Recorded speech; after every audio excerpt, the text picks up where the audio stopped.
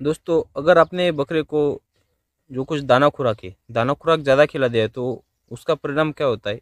वो बकरा है ना, वो बकरे खाना कम खाते हैं या उसकी भूख है। भूख मर जाती है, भूख कम हो जाती है, क्योंकि कैसा होता है, अगर दाना अक्खा बकरा खा लेता है तो उसके जो पेट में है ना, गैस बनने लगती है। अगर एक बार पेट में गैस पनप गई तो उस गैस से परेशान होकर जो कुछ बकरा है ना, ये दाना पानी छोड़ देता है, दाना खाना कम कर देता है। ऐसी प्रॉब्लम में आपको क्या करना है दोस्तों? सबसे पहले जो कुछ बकरा है ना, बकरे का टेम्परेचर चेक करना है। अगर उसका टेम्परेचर सही है तो बकरे को ये समझ लेना है कि बकरे को गैस की प्रॉब्लम हो गई है।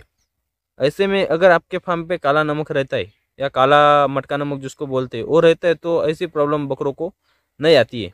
अगर ऐसी प्रॉब्लम आपके फार्म पे आई है तो आपको क्या करना है दोस्तों?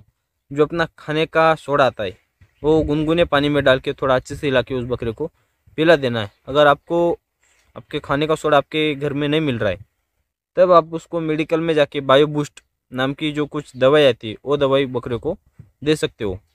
और दूसरी बात, अपने फार्म पे हमेशा आप काला नमक, काला जो पत्थर रहता है, काले नमक का पत्थर टांग के रखिए, या फिर खाने का जो सोडा आता है, वो खाने का सोडा एक बर्तन में रखे, एक तटली में रखे वो ताटली अपने फार्म पे रख दीजिएगा, क्योंकि कैसा है जब भी बकरी का पेट फूलने लग जाता है ना, या फिर उसको अपरा वगैरह होने लग जाता है, तब बकरी को पता चल जाता है कि अपने को अपरा हो रहा है, तब वो जाके वो सोडा चाट लेता है। उसकी जो गैस की प्रॉब्लम है, वो गैस की प्रॉब्लम दूर हो जाती है। तो दोस्तों छोटी छोटी जो बातें होती उन पर गौर करके हम अपना बकरा फार्म अच्छे से चला सकते हैं। या काले नमक का अगर पत्थर भी हमने बड़ा सा पत्थर उधर डाल दिया और उस बकरे को आदत लगा दी उसको चाटने की, तब भी वो बकरे को कभी भी ज़िंदगी भर गैस की प्रॉब्लम नहीं आती। तब तक आपके फार्म पे वो काला नमक का पत्थर है, तब तक आपके फार्म पे बकरियों को या बकरों को गैस की प्रॉब्लम नहीं आएगी दोस्तों। तो आशा करता हूँ आज का जो वीडियो आपको पसंद आया होगा।